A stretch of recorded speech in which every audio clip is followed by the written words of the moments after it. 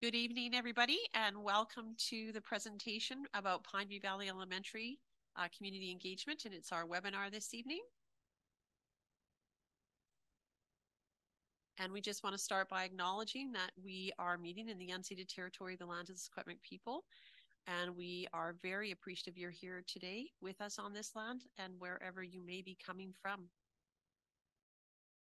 Tonight, you are joined by um, I will share, I'm Rhonda Nixon, the superintendent. Art McDonald, Director of Facilities. Jane Latta, Principal of McGowan. Vessi Mochikis, Assistant Superintendent, Inclusive Education. Grant Riley, Assistant Superintendent, Elementary Education. So thank you. I'm going to begin the presentation and the presentation will contain the following information.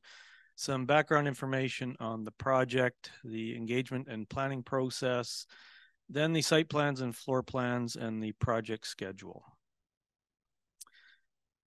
So first of all, I'm just going to go to a different screen. Uh, just to show you some history in Pineview Valley, this was the last aerial photo the city of Kamloops did in 2020 just orient yourselves and then I'm going to work backwards. So Copperhead Drive comes through here, ends about here currently. This is Hugh Allan Drive and Python Lake is this area in here. And our school site is this area in here.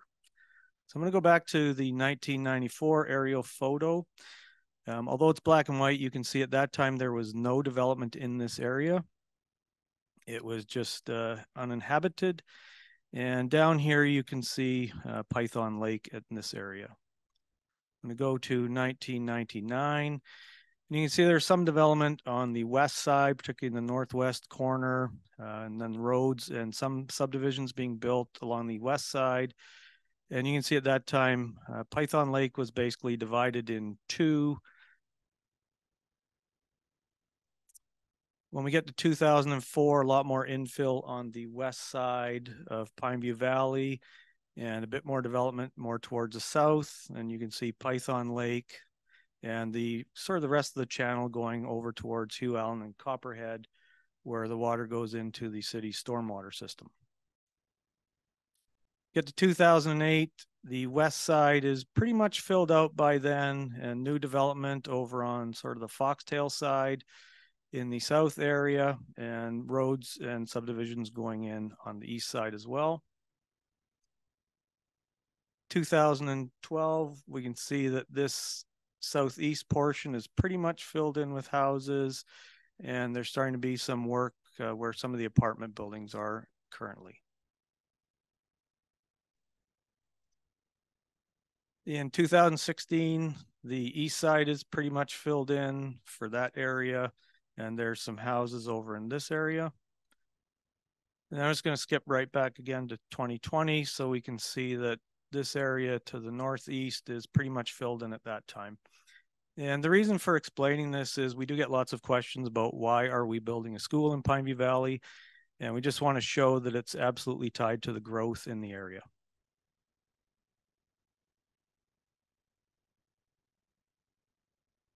So the project was first identified in the 2014-2015 capital plan of the school district. We received ministry support in May of 2021.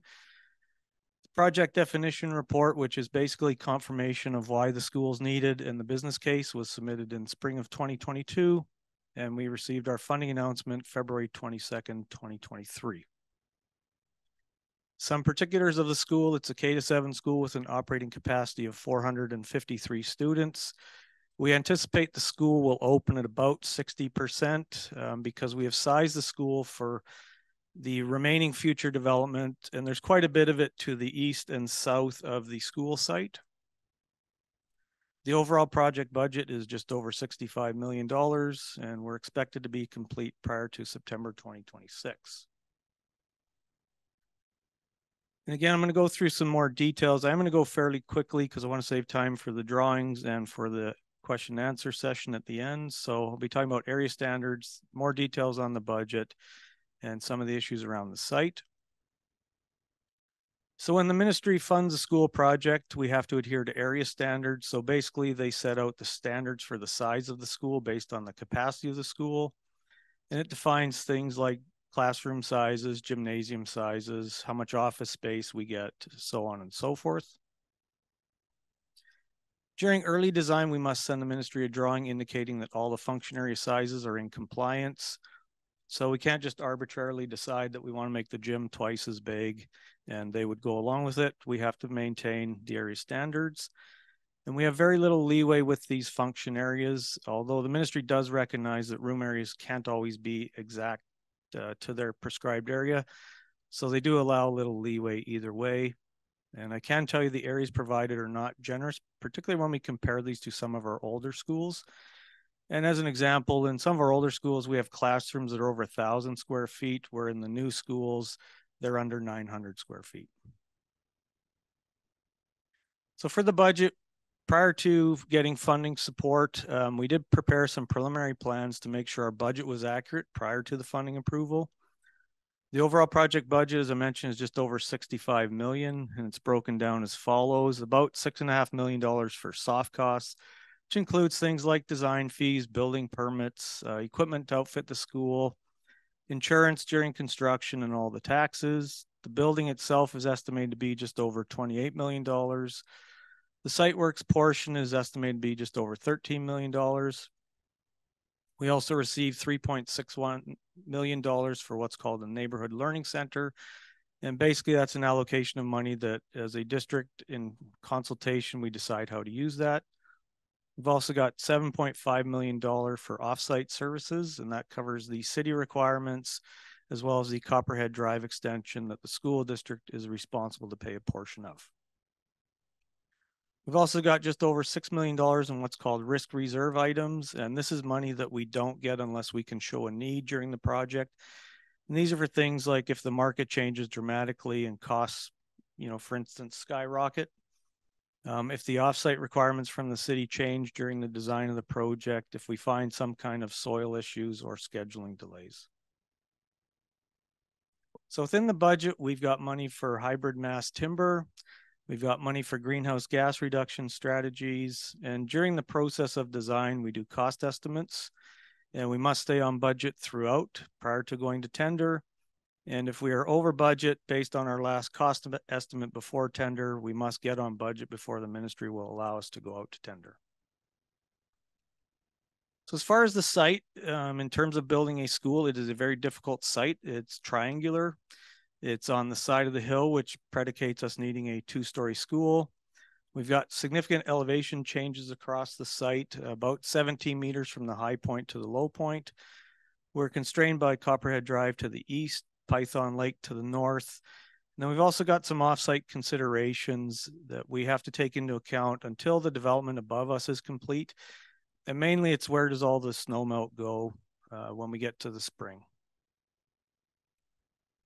So as far as the engagement and planning process, we're following the IAP2 continuum and we're using the collaboration portion of that model where we are looking for feedback to help develop our design. And we've had several community engagement committee meetings. And from our meeting on April 26th, the major themes that came out were the importance of diverse indoor and outdoor spaces. So things like multi-purpose rooms, inside, outside adaptable spaces, design outdoor spaces for indigenous plants, flexible adaptable spaces.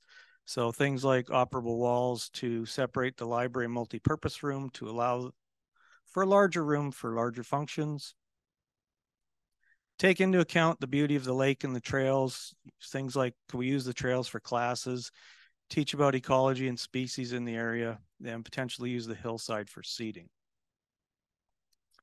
Again, from that meeting, the Neighborhood Learning Center, it was decided that we would use the space allocation to expand the gymnasium. So the gymnasium will be slightly larger than an elementary sized gym with the idea that we would have a bit more space around the perimeter for spectators. We used some of the allocation to add an Aboriginal education room, and the remaining allocation was to add a before and after school care room. Pedagogies, which is sort of the learning environment, uh, use the vertical whiteboards on the outside of classroom cubbies. So basically within each classroom, we've got cubbies that have vertical sliding whiteboards and pinboards. So once the kids have put away their backpacks and boots and coats for the day, they can use those whiteboards for things like learning, class assignments, etc. There's a big push for open spaces and windows to allow access to light, and then similarly to provide darker spaces for project work. And then just generally leverage the ecology in the area. For the site, for, sorry, for the facility plans, we reduced the number of change rooms and added more washrooms. The multi-purpose room uh, was desired to have multifunction so we could have art, band, and multi other things in that room. Then also wheelchair access around the site without going into the building. Storage was another large issue that was brought up. Uh, the desire was to maximize storage throughout the building. The June 7th meeting, all that was taken into account, so the updated plans were well received.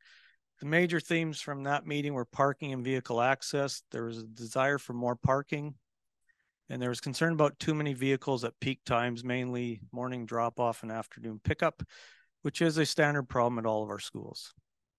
There were also concerns about the northwest corner of the field and the proximity to the lake. Then the last meeting of the committee was on October 20th. And the main themes from that were active transportation, again, concerns about the northwest corner of the field and proximity to the lake, and trying to maintain the existing trail networks as best as we could. Other engagement opportunities, um, meetings with the Ministry of Forest and Ministry of Environment on August 4th.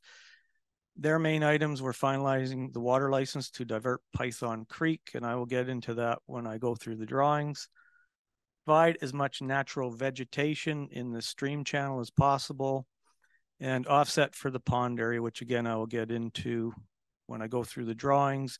And that leads to naturalization of the west end of the site. And was there an opportunity to relocate any of the existing plants around the pond area? On August 9th, Superintendent Nixon and myself met with the Kamloops Naturalist Club, and their main areas of concern were loss of habitat. With one of the questions, why can't the playfield be smaller? And again, I will talk about that when I go through the drawings. The aesthetics of the large retaining walls, in particular the ones surrounding the playfield, access to the existing path network, and possible relocation of existing plants around the pond area. Indigenous consultation, Mike Bowden, our district principal for Aboriginal education, is on the community engagement committee. Uh, Tk'emlúps was also on the committee. We did a presentation similar to this to our Aboriginal Education Council on September 21st. And we are still having further consultation with the Tk'emlúps regarding the Indigenous garden area. And some other areas we've received feedback from Dr. Trent Smith, who is an advocate of active transportation, our district parent advisory council, the Aberdeen Neighborhood Association, and various other community members and partners. As far as the schedule, the Earthworks tender package that is in progress, as I'm sure you're all aware. That package includes removal of trees, stripping of the site, uh, some bulk excavation, and the reason we're doing this at this time of year is we need to avoid the bird nesting times in the spring. The rest of the building and site package is scheduled to come out in February with a contract award around May and have the school open for September 2026. So now I'm going to shift gears and go to the drawings. So in this drawing, this was just an aerial photo that our architect did with their drone. And all we've done is overlay in the black outline. That is our property line. Couple key areas up in the southeast corner. So the bottom right corner of the drawing, that is where we have to pick up Python Creek. So those that aren't aware, um, the province has on a map that a Python Creek runs through this area and down into Python Lake. So we have to divert that through our site. When I mentioned the pond area, it was this area in here where there was some vegetation and some standing water. And as you can see, based on the outline of the site, these are the trails that will be removed as part of our project. And it'll also show where we're providing some new trails.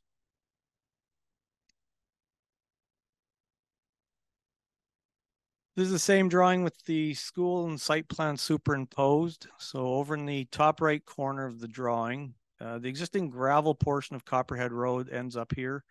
So Copperhead Road will be extended and the city is working on that now. We come in off Copperhead Drive, come into the parking area in this portion of the site. The yellow portion is the school. And surrounding the school, we've got a bunch of paved hard surface areas for things like basketball, foursquare, hopscotch, etc. Then we've got our playfield area over here. Now it's a little hard to see on the drawing. I'll zoom in a little bit. But if you follow the cursor from the bottom right corner, this meandering blue gray line, that is the diversion of Python Creek. And that is how we're still working on this west end of the site to figure out what we want to do at this end in terms of do we create a new pond to replace the old one or how do we do that and still get the water to drain into Python Lake. This pink line in the bottom right corner, that is one large retaining wall so that separates the upper portion of the site from the parking lot. This red line here is our accessible pathway from the upper parking lot down to the field. So as I mentioned in consultation, one of the asks was to make sure people could access the field after hours when the school was closed and the elevator was not available. And then this west end of the site where we have already had questions from community members, this is the portion of the site that we are looking to naturalize. And the reason we're looking at that is the pond area that I mentioned, we are required to offset that, which basically means try to replace what was there. And as part of our discussions with the Ministry of Forest and Ministry of Environment, we are going to look to naturalize this area to offset the loss of the pond and some of the other things on the site. I did mention looking at offsetting trails. So on the north side of the site, it's a little hard to see, but this brown colored line is a new trail that we will be providing from the school courtyard area up here down to the existing trail network.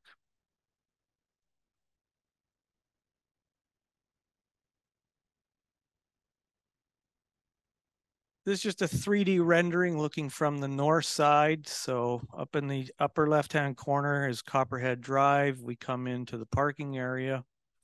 You can see the two-story school. This block here is mostly classrooms. In here is the library multi-purpose area and the gymnasium off to the right. And as I mentioned earlier, we've got hard surface play areas here for the students. This brown area here is a playground. And this brown and blue area over here is a playground built into the side of the hill. Right here is the accessible pathway coming down. I move to the right of the site. This is the stream channel for the diversion of Python Creek comes through here. And we've got the large retaining wall surrounding the field on this side. And this is the new pathway along the north side. One of the questions we've had a lot of well, a lot of questions and answers about is can we make the field smaller? And just for some context, we are aware of our proximity to Python Lake. We're staying a minimum of 10 meters away. This field, although it looks large, is about the same size as what's over at Dufferin Elementary for their play field. But when this school is built out, it will have over twice as many students. So we're trying to be cognizant of the fact that we do need a larger play area for the kids than Dufferin Elementary so we don't want to make that any smaller.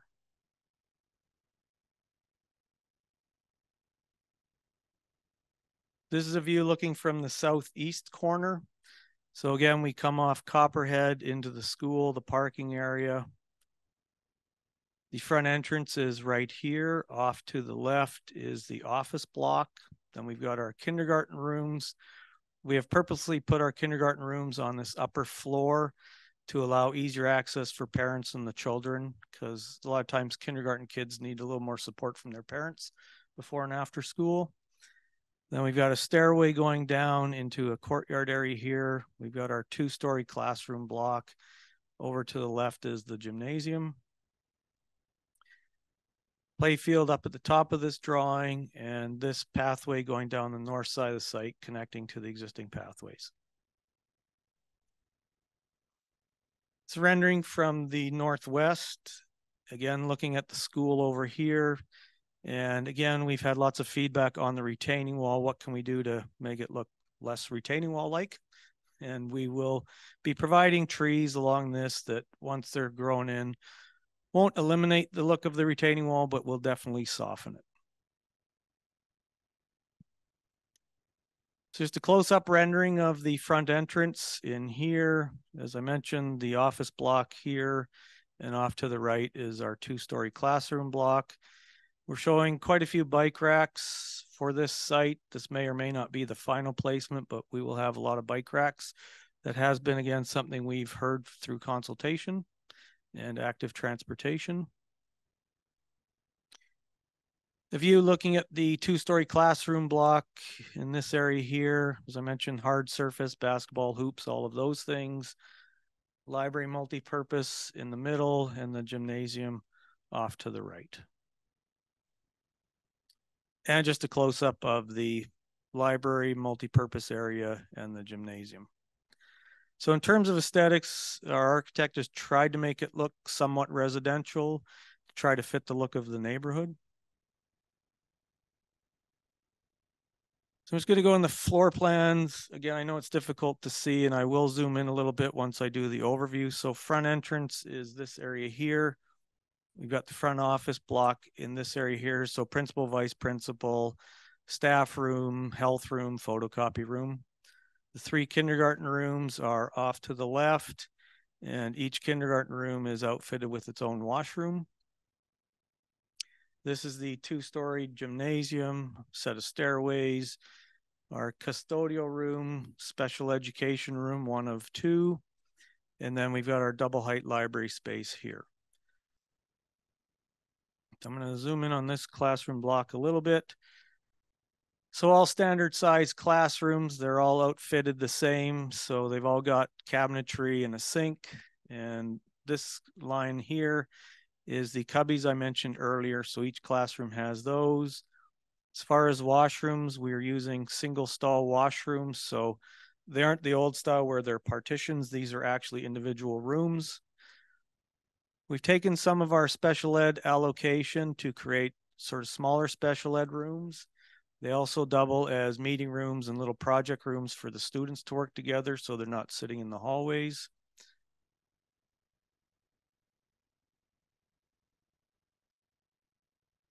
Then the lower floor is somewhat similar. Uh, gymnasium, and as mentioned, we've got it a bit wider to allow some spectator room on down the sides, gym storage room, few change rooms, but not too many, couple universal washrooms. Then we move in, we've got our multi-purpose room, which has the special ed room above it. I mentioned an operable wall before between the library and the multi-purpose room. So that's what those diagonal lines are indicating. We've got this really nice library space that's two stories with a stairway up to the second floor. Got a block of four classrooms here. And then on the sort of lower portion of the drawing, we've got our main special ed room with full toileting facilities. We've got our ab ed room with a mini kitchen. We've got our before and after school care room and then three classrooms. The washrooms and the special ed rooms in the corridor, are just a mirror image of what's above.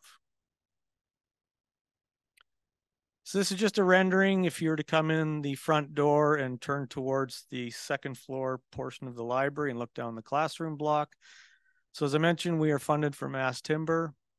So we've got some mass timber elements. And when we're talking mass timber, if you were to think of plywood made out of two by fours. That's about the easiest description I can give you. And we'll also be supplementing that with glulams and post and beam construction in other areas. This is the multi-purpose room on the first floor. So it's fully outfitted with mini kitchen. This would be the operable wall connecting the multi-purpose room and the library. And we also made sure we had outside access to allow events to spill out outside. This is a view of the library from the second floor area, even though there's not a second floor in the library, but you can see down, it's a very nice volume, lots of light with all the windows. And you can see the beam and wood decking construction for the ceiling. Again, it gives it a bit of warmth and we do want to use wood as it's a natural resource. Looking the opposite direction from the lower floor of the library, you can see the stair going up to the second floor, main doors out onto the first floor, and at the far end, the operable wall for the multi-purpose room. These are sort of typical classroom layouts. I'll, I'll zoom in and move around a little bit. This is what you would see coming in from the corridor. So on one wall, we've got whiteboards and the projector. We've got our HVAC unit in the corner, windows with storage underneath that, exterior doors. So all of the first floor classrooms have exterior doors. And these are the cubbies I mentioned earlier with the vertical sliding whiteboards and pinboards. And on the first floor, we have T-bar ceilings in each of the rooms, which is different than the second floor. If I zoom into this area here, this is looking from the opposite corner. So the door at the top is the corridor door. We've got cabinetry with a sink, so quite a bit of storage for teaching supplies and our whiteboards with the projector over in this area.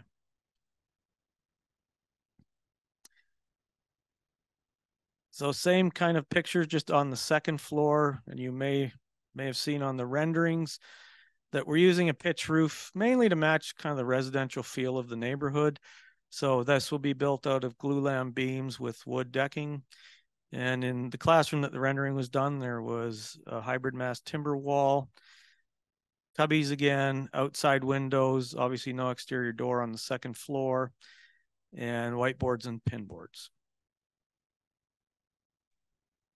And just looking from the opposite corner towards the corridor, same layout as the lower floor, door to the corridor, lots of storage and a sink. And then the last drawing, this is a rendering of the gymnasium looking from what would be the east corner. This rendering is a bit old, so a few things have changed. We will not have down swinging basketball hoops. They will be sidewall on the ends, but you can see, again, a lot of use of natural wood, and I think it looks quite nice.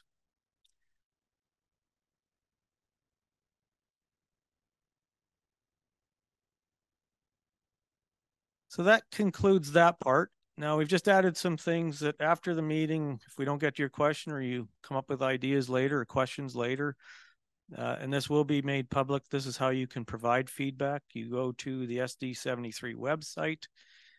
You click on the Board of Education tab. Then you would click on the blue circle, the new Pineview Valley Elementary School. Scroll down to how to get involved and you click on facility input. And that would allow you to provide your question. And what we are doing is we're taking all questions and we are responding to them on the website so that everybody can see the answer. And step five, um, you also see FAQs, as I mentioned, are updated here with the last date specified, and tonight's presentation will also be posted here. So thank you. Uh, we will begin the FAQ session.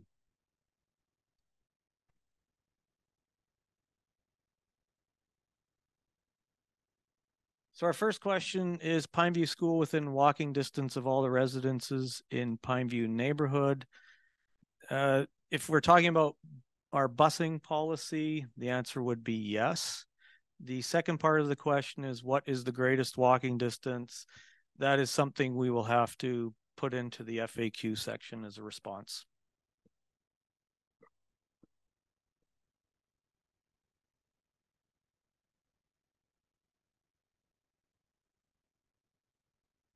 So our second question is what type of lighting will be used, fluorescent or LED? Uh, we will be using dimmable LED throughout the building.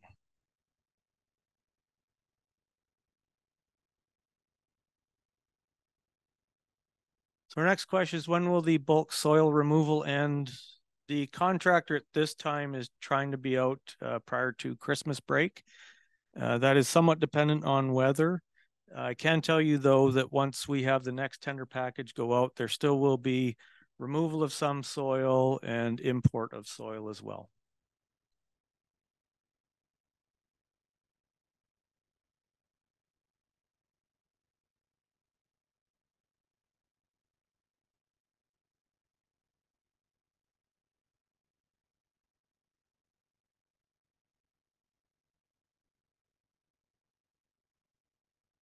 So if you're if you're looking to ask a question, you go to the bottom and you click on click on the Q and A tab, and you will be able to submit your question there.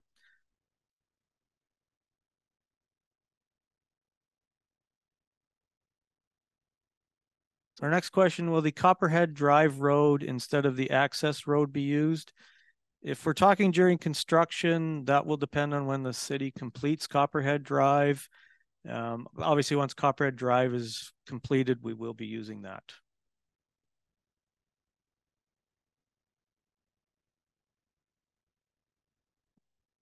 What type of surface will the playground be? It would be great if it was that rubber compound that wheelchairs and people with mobility issues could use. We will have a mix of the rubber compound and engineered wood fiber. The rubber compound will be provided for all of the accessible swings and probably an area to get into the playground with engineered fiber making up the rest of it.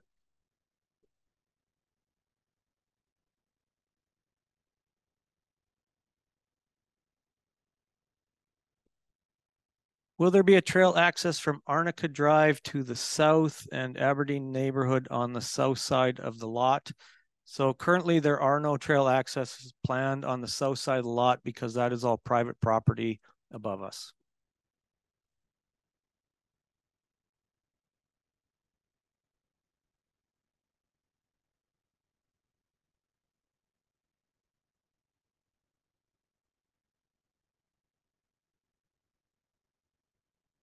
Okay, so next question. I am curious of amenities included in the final scope or what sorts of things might a future PAC need to fundraise for, i.e. playground equipment, sound systems, scoreboards, basketball hoops, classroom sports equipment, sports equipment, etc. So pretty much everything that's on this question is provided as part of the building. Playground equipment is there, sound systems where needed are in, scoreboards, basketball hoops, classroom sports equipment, and general sports equipment will be provided. Um, however, at some point in the future, the school may decide they want other things. Hi, Lisa Grant here. I think one of the things that we've learned from schools reopening or new opening of schools is uh, jerseys are a huge cost to schools right off the top. And if PAC can fundraise for jerseys, that would be awesome.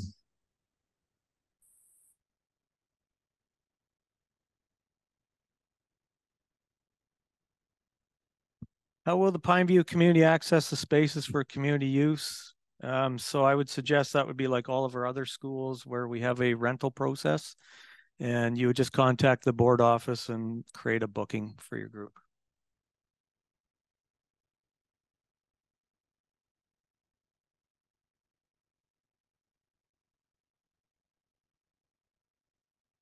Questions regarding the replacement pond, a desire line to the trails passes through there. Will this be maintained? I couldn't tell from the FAQs whether this area will be fenced off or not. So I did mention that in that area, those trails will not be maintained and that area will be fenced. And at this point, we're probably looking at something like a wood split rail fence, uh, not chain link fence.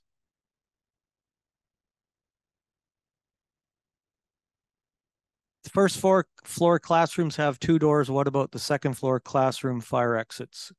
So I can tell you by code that classrooms only require one door for fire exiting. On the second floor, what we are doing though, and I didn't highlight it, but it was on the renderings, is we have an interconnecting door between each of the two classrooms so that there is a second way out uh, for any other issue that may arise.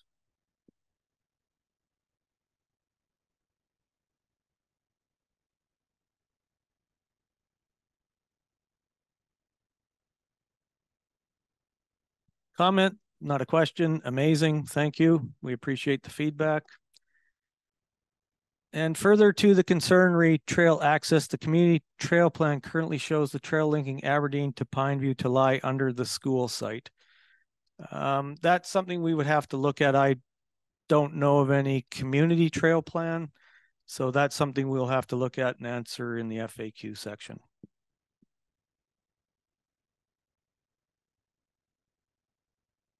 How much space will the after school care have? So that after school care room is the standard classroom size. So it's about 80 square meters.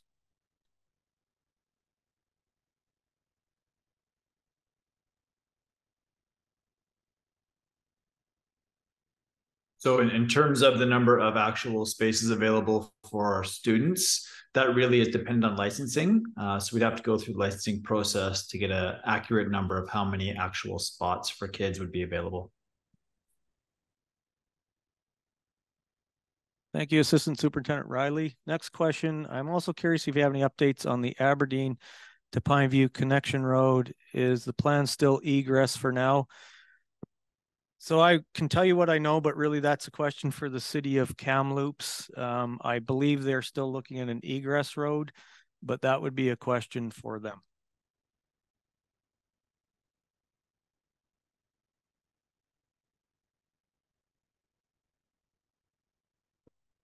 Will there be monitoring of impacts to the wildlife that frequent the ponds? So I can tell you we do have an environmental consultant as part of our design team.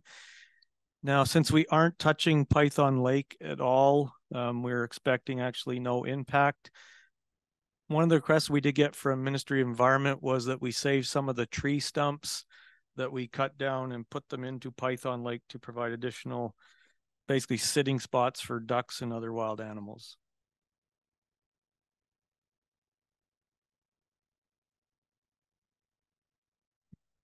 Has there been modeling for traffic to support an intersection entrance versus a roundabout at the school entrance? Um, city takes care of design of roads, so that would be a question for the city of Kamloops. Uh, somebody's provided a link to the Kamloops Trail Master Plan. Thank you for that. And as I mentioned, we'll have a look at that and uh, provide an answer in the FAQ section on the website.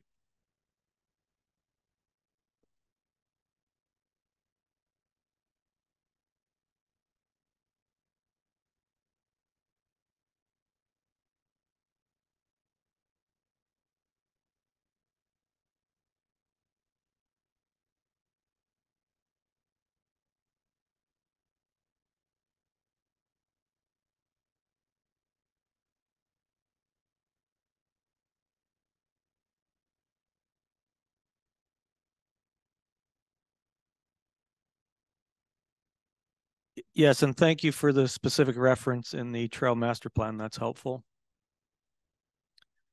Uh, comment, not a question. Great presentation. Thank you for all the work in supporting Kamloops to build another school. Thank you for the feedback.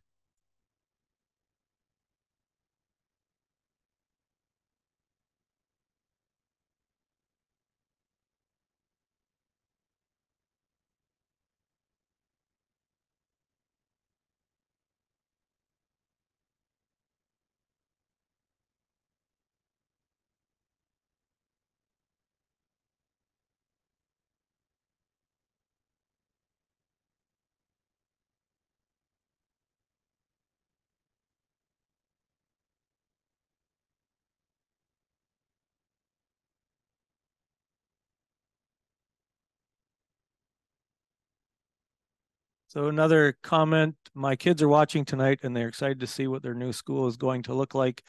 Thank you very much for the feedback. That's what we always need to remember is why we're doing this and it's for the students.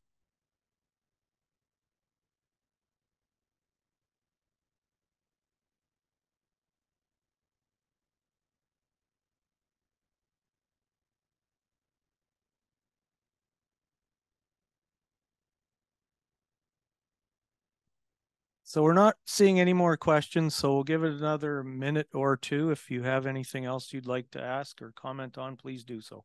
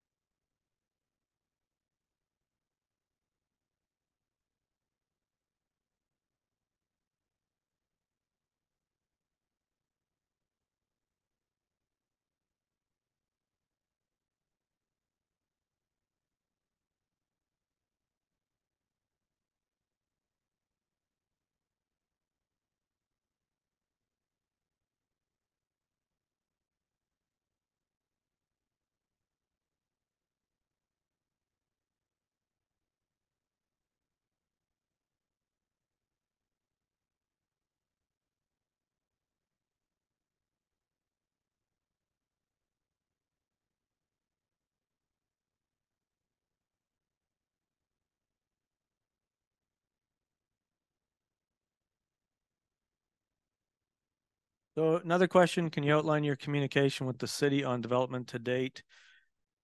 So we have been talking to the city for probably five to seven years on Pineview Valley. So we have been working together quite closely for a long time.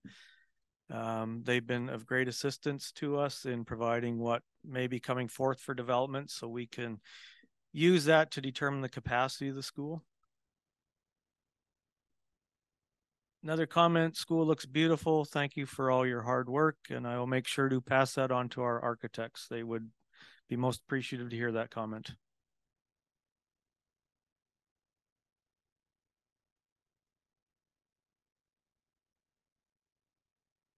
Is there an outline as to where the catchment area will be? Uh, there is not at this time. That will be something that we will be developing, I believe, next fall. And there will be a process uh, where the board will actually have to approve the catchment area.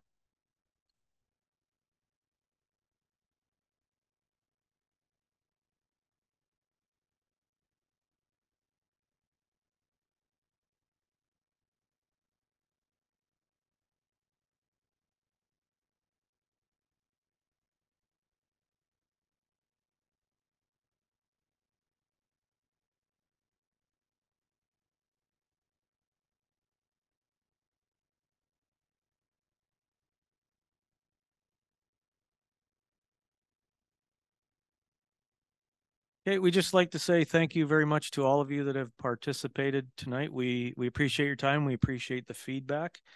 Since we're not seeing any more questions, we're going to end the Zoom meeting. But feel free if you think of anything later on to submit it through the FAQ section on the website, and we will post all responses there. Thank you and have a good night.